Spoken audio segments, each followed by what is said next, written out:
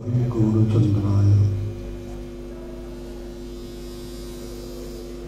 राधिकाय तदालय कृष्णाय कृष्णभक्ताय तद्भक्ताय नमो नम। बद्धे विदनते भक्ति मूर्खमापर्त श्रुति। यत्कृपातमः प्राण गोपाल सर्वप्रथम ধামেশ্বর, শ্রীমন মহাপ্রভু। আজকে সমগ্র অনুষ্ঠানের তিনি প্রধান। সভায় বিরাজমান তার চরণে আমার দণ্ডবোধ প্রণাম। প্রেমিক চূড়ামণি নিতাই চাঁদ এবং অন্যান্য যে গৌপার্ষদবৃন্দ আছেন, তাদের চরণে আমার প্রণাম। উপস্থিত বৈষ্ণব মণ্ডলী তাদের সকলকে আমার নমস্কার এবং প্রণাম নিবেদন করছি।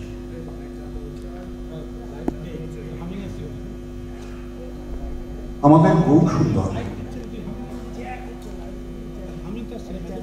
যাকে নিয়ে গৌরীয় বৈষ্ণব সমাজ, সনাতন হিন্দু ধর্মের প্রকৃত রূপ যেন জগতের কাছে প্রকাশ করলেন।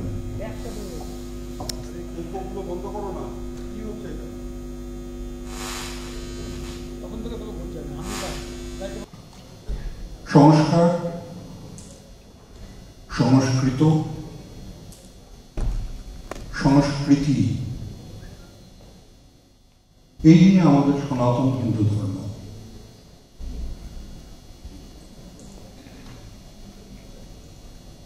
একটা কথা আমি সব সময় বলে থাকি, ইদানিং বহু বিদেশি তারা এই ভারতীয় দর্শনে আকৃষ্ট হচ্ছেন। অনেকে নানাবিধ কর্ম করছেন। একটা সময় ম্যাক্সমুলার ইত্যাদি সমস্ত নাম আমরা শুনতাম। কিন্তু যেটা আমি মনে প্রাণে বিশ্বাস করি এই ভারত ভূমিতে যার জন্ম হয়নি এই ভারতীয় সংস্কার, সংস্কৃতি দ্বারা যে সংস্কৃত হয়নি, সে ভারতীয় ধর্ম দর্শন পড়তে পারে, মুখস্থ করতে পারে, কিন্তু জীবনে ধারণ করা বড় কঠিন।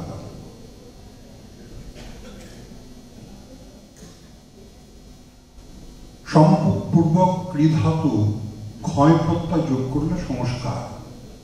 এই শব্দটা নিষ্পন্ন হয়। ব্যাকরণের একটা নিয়ম আছে। ক্রিধাতুর পূর্বে যদি সম বা পরি থাকে, তাহলে গৌরবার ওই মহিমা ব্যঞ্জক একটা শয়ের আগম হয়। একটা সুটের আগম আগম হয়। তারপরে উ এবং ট ঈদ গিয়ে ছটা থাকে। নিয়ে সংস্কার, সংস্কৃত, সংস্কৃতি এই শব্দগুলো নিষ্পন্ন হয়। না হলে শব্দগুলো সংখ্যা সংকার, সংকৃত ইত্যাদি এরকম হতো। যাই হোক, সংস্কার সংস্কার মানে সংশোধন, আত্মশুদ্ধি। ওই নানাভাবে ইত্যাদি ইত্যাদির দ্বারা আবৃত যে জীবাত্মা। সাধনের দ্বারা, ভজনের দ্বারা,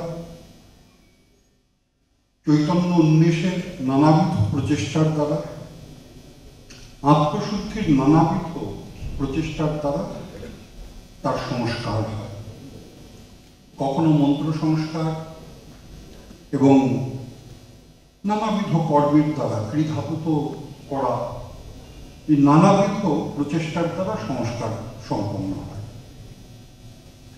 এবং যার দ্বারা সংস্কার সম্পন্ন হয় বা ওই ধৃত হয়, সেটা হচ্ছে সংস্কৃতি। আর যিনি সংস্কার, সংস্কারের দ্বারা শুদ্ধ হলেন, তিনি হচ্ছেন সংস্কৃত। এখানে ভাষার কথা বলছি না। এই যে আমাদের জাতীয় সংস্কার, ভারতীয় সংস্কার ভারতীয় সংস্কৃতি,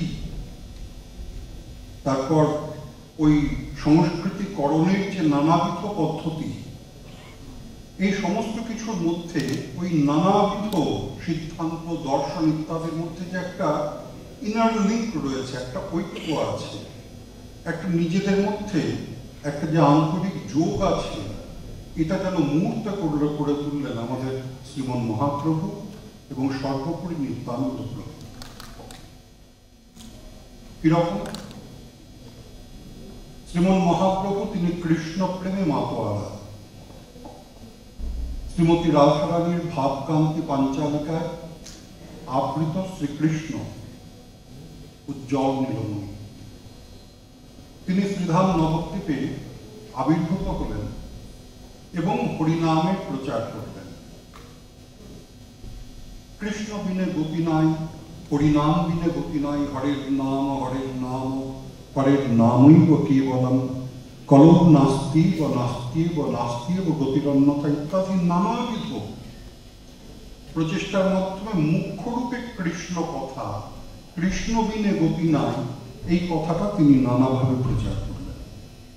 আবার তিনি বললেন, যোগমায়া চিৎ শক্তি, বিশুদ্ধ সত্য পরিণতি, তার শক্তি লোকে দেখাইতে, এরূপ রতন ভক্তজনার প্রাণধন প্রকট করিলা নিত্যলীলা সেই শ্রীমন মহাপ্রভু যখন যাত্রা করছেন লিঙ্গরাজ মন্দির, সেখানে গিয়ে নৃত্য করে করে বললেন যে, মহাদেবের চরণে যার রতি হলো, তার ভক্তি হবে। কিন্তু বৈষ্ণব সম্প্রদায়ের মধ্যে নানাবিধ সংকীর্ণতা আছে। আমরা কৃষ্ণ ছাড়া মানি না, আমরা কালী দুর্গা মানি না, আমরা শিবটিপ মানি না, এরকম কথাবার্তা বলবার মতো তথাকথিত বৈষ্ণব, তথাকথিত বিকট বৈষ্ণব, তার অভাব নেই কিন্তু আমাদের গৌরীয় বৈষ্ণব সমাজে। কিন্তু শ্রীমন মহাপ্রভু যেটা ওই আমাদেরকে প্রদর্শন করলেন, তার মধ্যে কিন্তু এই বস্তুটা নাই। মুখ্যরূপে যিনি গৌর আদর্শ প্রচার করলেন, সেই নিতাই চান। তার মূর্তিটাই একটা হারমোনি কীরকম? তিনি কীর্তন করছেন। ভজ শ্রীকৃষ্ণ কত শ্রীকৃষ্ণ লহ শ্রীকৃষ্ণের নাম। তার কণ্ঠের রুদ্রাক্ষের মালা, তার কণ্ঠে এক লিঙ্গ মহাদেব, তার উপায় ত্রিপুরা সুন্দরীর যন্ত্র। এখন যদি নিতায় ভজন করতে হয়, তাহলে কি স্বরূপে ভজন করব? তিনি বৈষ্ণব তিনি শাক্ত না তিনি শৈব যে নিতাই ছাড়া হবে না হ্যাঁ মুখেও যে বলে মই নিত্যানন্দ দাস কি অবশ্য দেখিবে চৈতন্য প্রকাশ শ্রীমন মহাপ্রভু নিজ মুখে বলছেন শোনো রাখো তোমার স্থানে নিজ কক্ষ কই আমার দ্বিতীয় নাই নিত্যানন্দ বই যে নিত্যানন্দ প্রভু বলছেন যথেষ্ট যথেষ্টাম্রে প্রাপ পুরু হরিহরি ধ্যান মনীষম তত সংসারাঙ্গদি তরণদায় বৈরবে ইদং ভজে নিত্যানন্দম ভজন ওহে ভাই, তোমরা শুধু হরিনাম করো, বাকি দায়িত্ব আমার। তোমাদের সংসার সমুদ্র পরিত্রাণের দায়িত্ব আমি গ্রহণ করব। তিনি নাম প্রচার করছেন, তার কোপায় ত্রিপুরা সুন্দরীর যন্ত্র, তিনি কণ্ঠে রুদ্রাক্ষ ধারণ করেছেন তার কণ্ঠে এক লিঙ্গ মহায় একটা অপূর্ব হারমোনি, একটা অপূর্ব সম্প্রীতি শুধু তাই নয়, আমাদের যে ওই গৌরীয় বৈষ্ণব স্মৃতি হরিভক্তি বিলাস প্রণীত হলেন শ্রীমন মহাপ্রভুর ইচ্ছায় শ্রীল গোপাল ভট্ট গোস্বামীপাদ এবং সনাতন গোস্বামীপাদ এরা সম্মিলিতভাবে যে সিদ্ধান্ত আমাদের সম্মুখে প্রকাশ করলেন, তার মধ্যেও এই একটা অপূর্ব হারমোনি রয়ে গিয়েছে। যে সকলের সাথে সকলের একটা মিল, সকলকে সকলে সকলের আরাধনা করবে, সবাই সবাইকে ভালোবাসবে, সবাই সবাইকে শ্রদ্ধা করবে, সবাই সকলের সামনে অবনত হবে। কিন্তু সেই অবস্থাটা কোথায়? যে সংস্কার, যে কারণে এই কথাগুলো আমি বললাম সম্পূর্বক পৃধাতু সংস্কার সম্পূর্বক পৃধাতু সংস্কৃত সম্পূর্বক পৃধাতু তিন প্রত্যয় সংস্কৃতি কোথায় সেই সংস্কৃতি, সেই সংস্কার সেই সংস্কৃত অবস্থা, সেগুলো কোথায়? কোথায় গেলে পাওয়া যায়?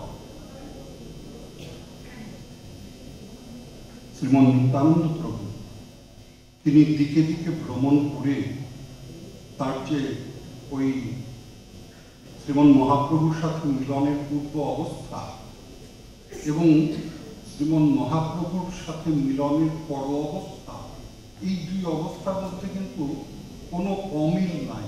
মহাপ্রভুর আছে আমাদের নিত্যানন্দ প্রভুর সাথে মিলনের পূর্বের মহাপ্রভু নিত্যানন্দ প্রভুর সাথে মিলনের পরের মহাপ্রভু। এই পূর্বাপর মিল নাই। একজন ভক্তবৎসল, একজন পতিত পাবন মিলনের পূর্বে তিনি ভক্তবৎসল শ্রীবাসঙ্গনের বদ্ধ ওই কক্ষের মধ্যে ওই একান্ত অতি শ্রেষ্ঠ ভক্তজনেদের সাথে তিনি রস আস্বাদন করেছেন। হ্যাঁ?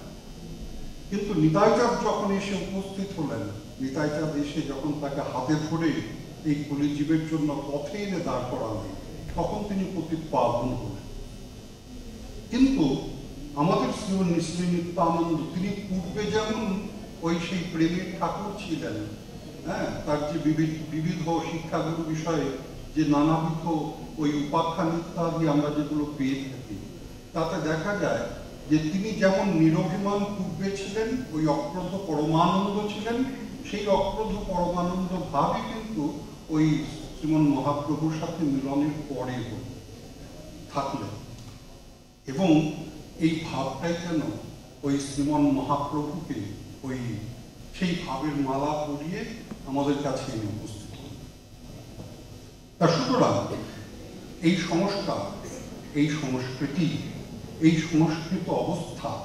এই সাংস্কৃতিক পরিবেশ যদি না থাকে, তাহলে পরে কিন্তু আমাদের সমাজ ভঙ্গ হতে বাধ্য।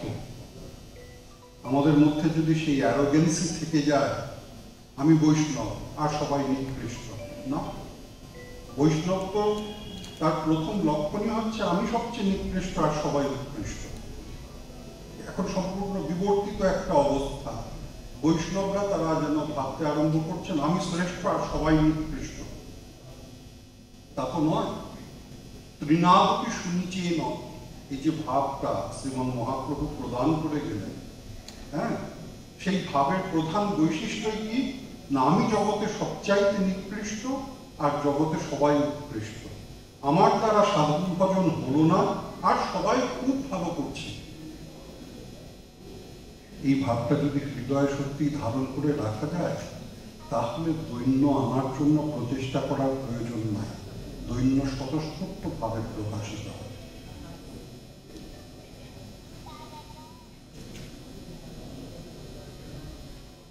আমার একাধারে প্রপিতামহ তথা পরাৎপর শ্রী গুরুদেব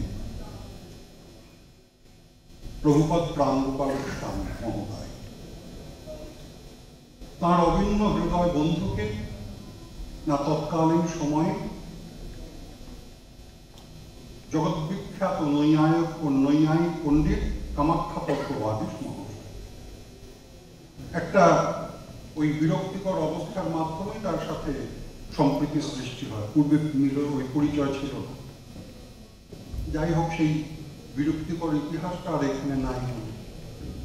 তারপরে তার সাথে একদম নিত্য যাতায়াত, তার সাথে নিত্য এমন অন্তরঙ্গতা।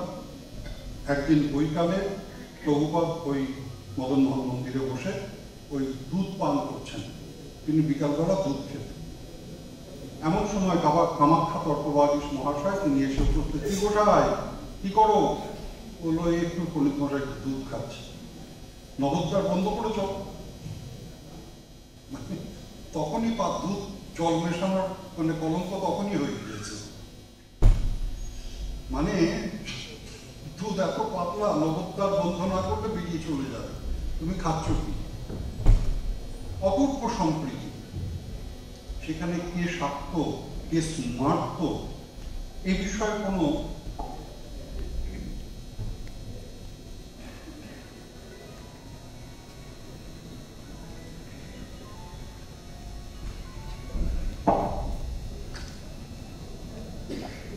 এই যে অপূর্ব পরিমণ্ডল।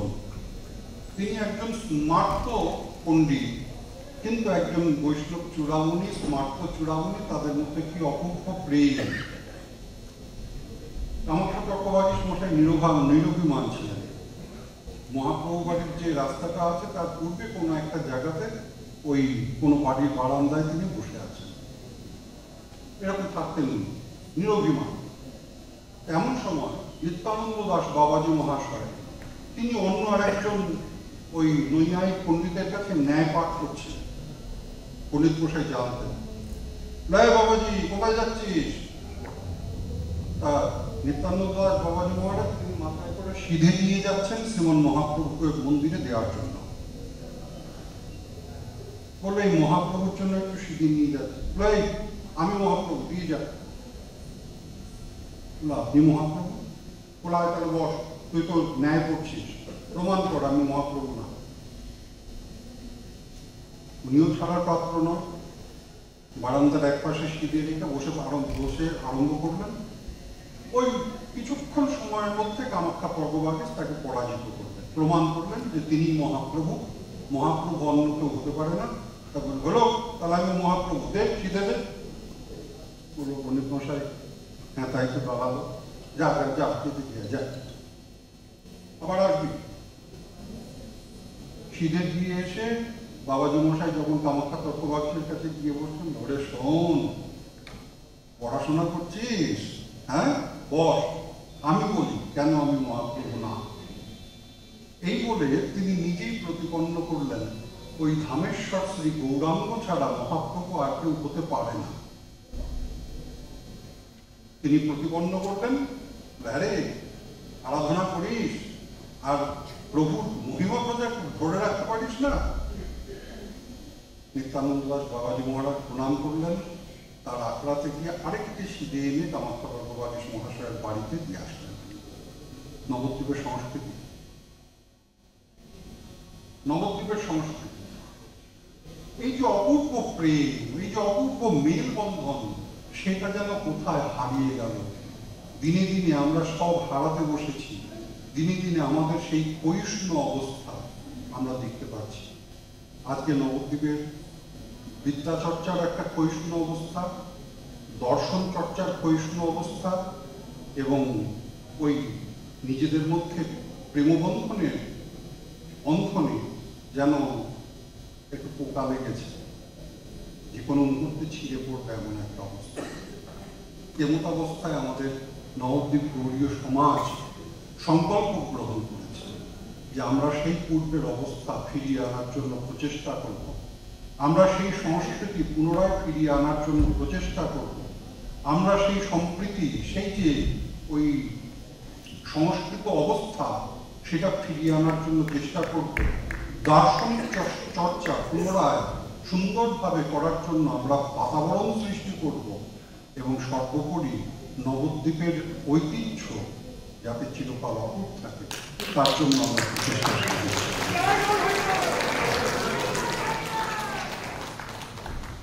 এই গৌরীয় বৈষ্ণব সমাজের ওই আমার স্নেহের রাধা বিনোদ বলল উপদেষ্টা। আমি কিছু নই। উপদেষ্টা তো নয়, মুখ্য তো বড় কথা হয়ে গেল, উপদেষ্টাও নয়। এই যুবক ছেলেরা এই রাধা বিনোদ তারপর আমার ছোট ভাই প্রেম গোপাল যদিও পাকা তারপরেও আমাকে দাদা বলে ডাকে প্রভুপাত কিশোর কৃষ্ণ গোস্বামী তারপর কৃষ্ণেন্দু তারপর আমার বৃত্তাষ্ট ধরে কি নাম? আহ, সুধীর তারপর অদ্বৈতদা ইত্যাদি। তারা যেভাবে এই গৌরীয় বৈষ্ণব সমাজকে এগিয়ে নিয়ে যাচ্ছে। আপনাদের সকলের চরণে আমার বিনতি। এদেরকে পুষ্ট করুন। আমরা সবাই মিলে নবদ্বীপকে আবার সেই গৌরবের উজ্জ্বল শিখরে নিয়ে যেতে পারি। এটাই জয় গুরু, জয় নিতারা অসংখ্য ধন্যবাদ। গৌরীয় বৈষ্ণব সমাজের প্রধান উপদেষ্টা শ্রদ্ধেয় নিত্যগোপাল গোস্বামীকে। আবার আমরা চলে যাব সঙ্গীতে, কীর্তন গানে, পরিবেশনায় গোবিন্দ গোপাল গোস্বামী।